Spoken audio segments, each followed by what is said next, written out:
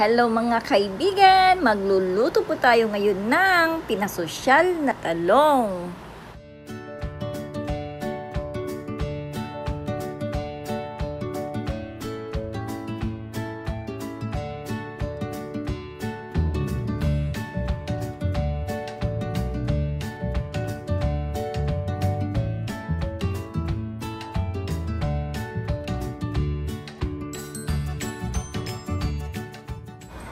Pinitas ko po ang mga talong sa taas ng aming bahay. Dahil wala na pong space sa aming bahay, kaya yan po, sabit-sabit lang sa mga bintana.